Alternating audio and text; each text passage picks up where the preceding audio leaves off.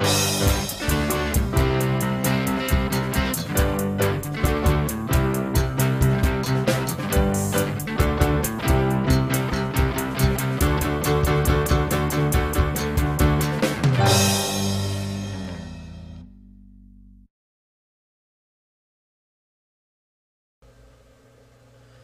Hi, and welcome back to Podcast School. This is another A2 Technology and Design video podcast. Today we're going to take a look at the Karnaugh map again, but this time three variables.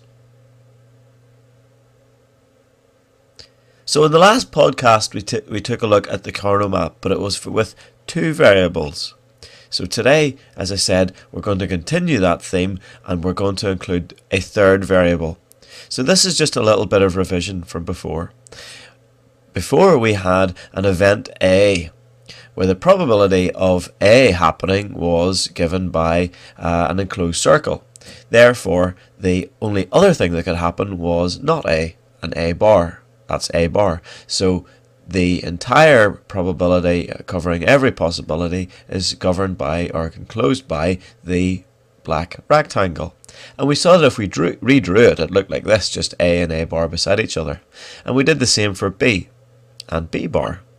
Now we're going to do the same for C and C bar. Therefore, we can draw this incredibly complicated Venn diagram that shows A, B, and C, and of course A bar down here, B bar, and C bar.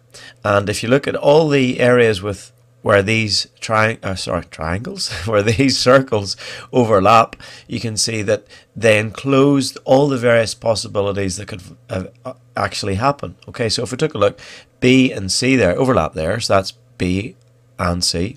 In this little part, it's B and C and A, or A, B, and C, and so on and so forth. But we're not even going to deal with that. That that that's too complicated. What we can do, though, excuse me, is to overlap in the uh, rectangles the same way we did before. Notice this time we keep C bar uh, split.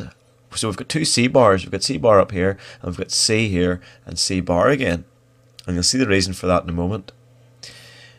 Bringing those outside, you've got A bar and A, and down the side we've got B bar, C bar, B bar C, BC, and B, C bar. Now, some of you will notice something already about the pattern of this.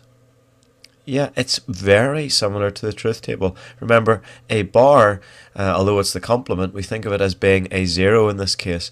So that would be a zero and a one. And down the side here, we've got, look, zero, zero, zero, one, because that's not a bar, one, one, 1, 0. Very similar to the truth tables that we've been drawing up, up until now. Again, we can draw the, the table out and rearrange it into a Karnaugh map form, and this is just what I uh, explained earlier.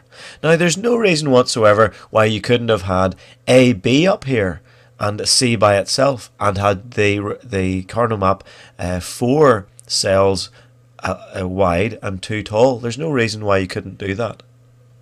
I've just said there that the three variable Karnaugh map has 2 to the 3 or 8 cells, the small squares within the map.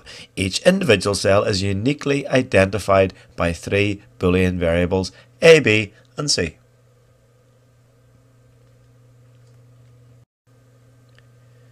Okay, so I've asked a question here. Which cell is uniquely identified by A, B and C bar? Well, we know that it must be A and B must be a 1 because remember we're saying here that a bar is representing a 0. So A first of all has to be a 1.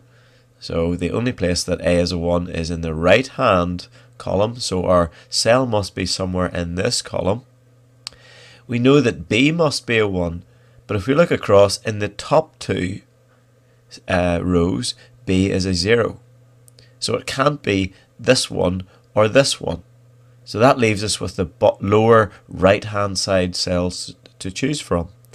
But we're also told that it must be C bar or C being a zero.